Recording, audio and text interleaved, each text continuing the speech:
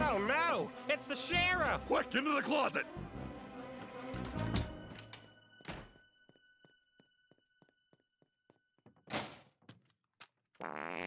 Who's there? Just me, sweetie. Oh, I didn't know you were home.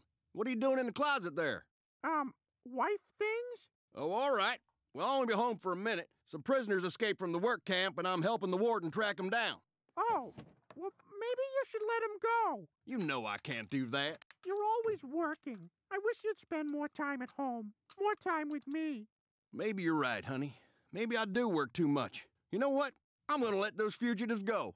You do that for me? I'd do anything for you. I love you. I love you too. Now come out here and give me a kiss. Peter, no!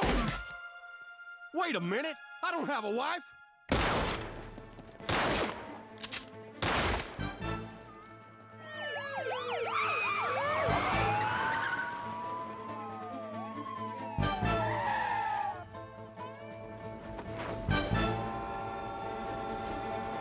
Head for the tracks!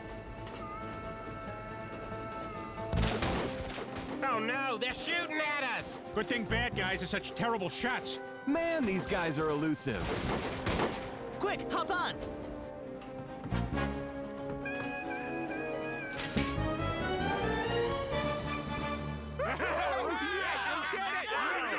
That was a close one. Ah, well, guys, we made it. Boy, I feel like I haven't eaten in a week.